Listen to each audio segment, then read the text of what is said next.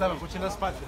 Anzi, non solo che la passerà. Squadra che è pronta per eh, salire sul pullman e rientrare a casa. Vi facciamo vedere in diretta. Vi facciamo vedere in diretta il momento che di solito.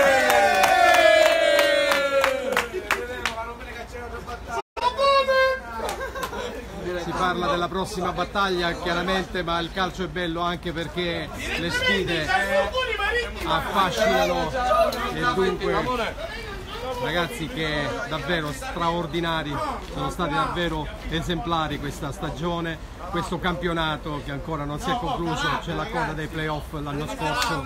A Giarre, si interrompe il cammino della- dello Scordia con una sconfitta, quest'anno i playoff sono arrivati, Jonathan Pandolfo oggi si è fatto trovare pronto, davvero straordinario. Allora Jonathan, eh, due parate importanti, la prima su Marziale, la seconda più difficile, sei sempre pronto, avresti chiaramente in altre squadre giocato da titolare, questo si sa. Adesso subito noi pensiamo a Biancavilla, preparare bene la partita e cerchiamo di andare avanti. Jonathan, te la ricordi l'ultima intervista che ti ho fatto? Dove eravamo? Ad Agropoli eravamo. Eravamo ad Agropoli, 0 a 0. 0-0. Intervista Jonathan.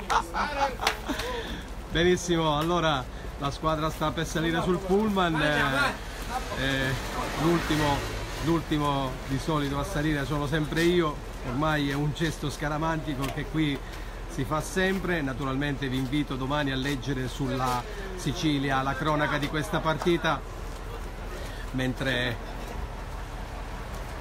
questi momenti davvero di sport, di calcio sono straordinari perché si segue la partita, si segue il dopo partita, si segue la squadra ed è vero- davvero tutto bello e, e a volte sono davvero straordinariamente felice di seguire questi ragazzi che meritano il massimo dell'attenzione perché si impegnano negli allenamenti, si impegnano ogni giorno e poi vincono.